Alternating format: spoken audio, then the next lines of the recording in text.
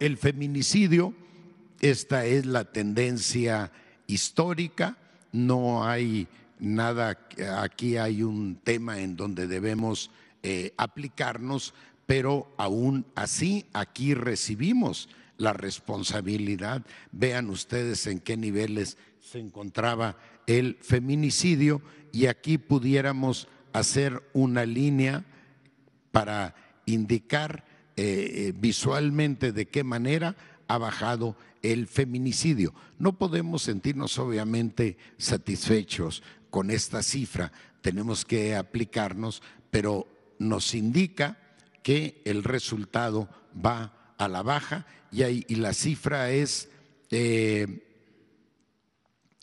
adelante, es inferior en 8% respecto a diciembre del 2018.